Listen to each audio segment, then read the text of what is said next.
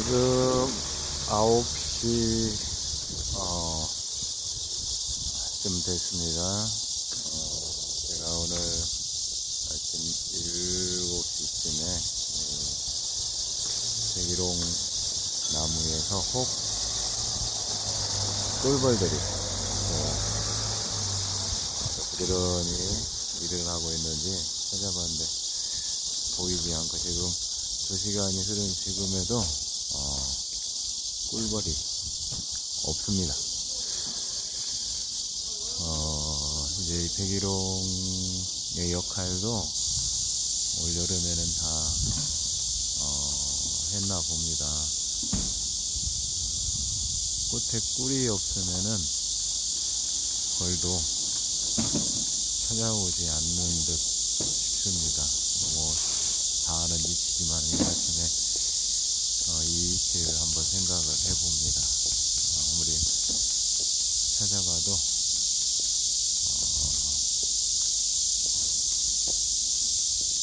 벌이 보이지 않습니다. 지금 오늘 아침에 25도, 지금 현재는 27도.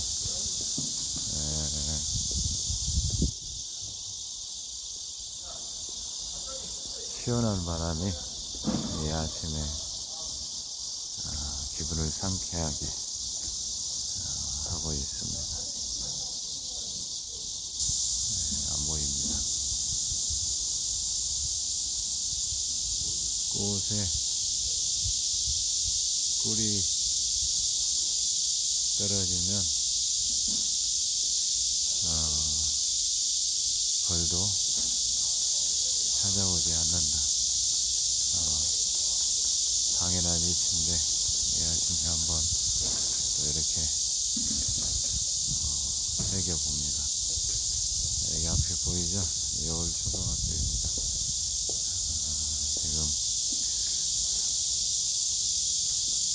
입구 전체 바닥 작업이 한창입니다.